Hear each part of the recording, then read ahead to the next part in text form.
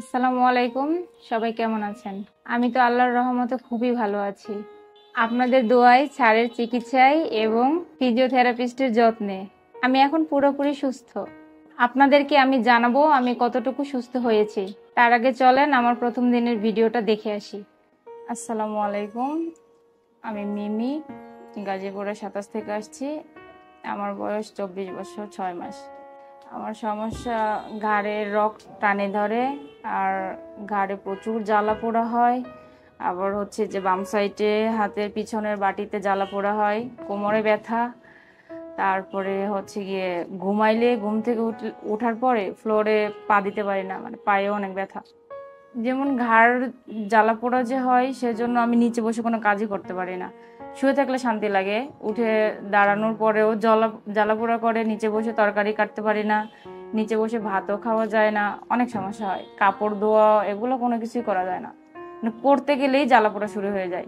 বাচ্চা, বাচ্চার দিকেও ভালোভাবে নজর দিতে পারি না, কোমরে ব্যথা করে। শুয়ে থাকলে রিল্যাক্স লাগে, কিন্তু উঠে কোনো কাজ করতে গেলেই সমস্যা হয়। না, কামড়ানোটা নাই, কিন্তু অনেক জলে, আর ব্যথা মানে টানে টানি ধরে, রক টানি টানি ধরে এরকম। আর মনে হয় কেউ চাপ দিয়ে ধরে রাখছে, হাতগুলো এরকম ছাড়লেই মনে হয় ছিঁড়ে যাচ্ছে ছিঁড়ে যাচ্ছে, এরকম লাগে। এটা ব্যথাটা শুরু হয়েছিল তিন বছর আগে।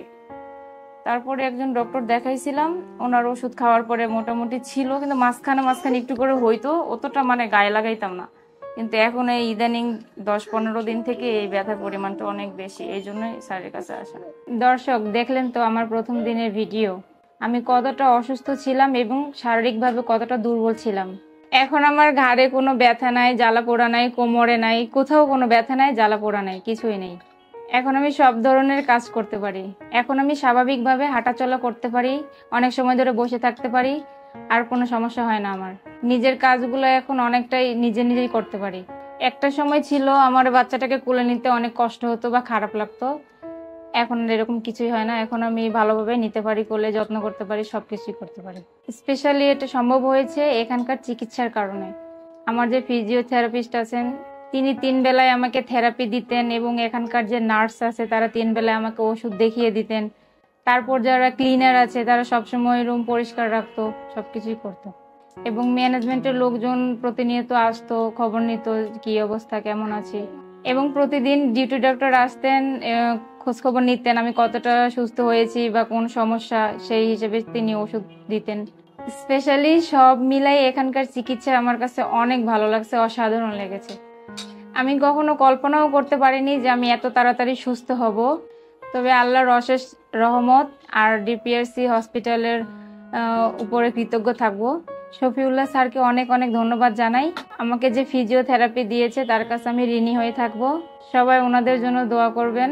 আর আমার মতো যদি কোনো পেশেন্ট থাকে, তাহলে আপনারা স্যারের কাছে আসতে পারেন। আমি আশা করি আপনারাও আমার মতো সুস্থ হয়ে বাড়ি ফিরে যাবেন।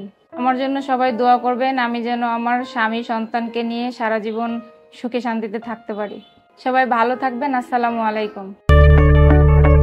আমরা জানি আপনার প্রিয়জন আপনার জন্য কতটা গুরুত্ব বহন করে। প্রপার ডায়াগনোসিস কনসালটেশন পেইন ও প্যারালাইসিস চিকিৎসা পুনর্বাসন আমাদের সব আয়োজনই সবসময় আপনাদের জন্য চব্বিশ ঘণ্টা খোলা। আমরা চাই না আপনারা বারবার আমাদের কাছে ফিরে আসুন তবুও আমরা আছি সব সময় সর্বদা আপনাদের পাশেই।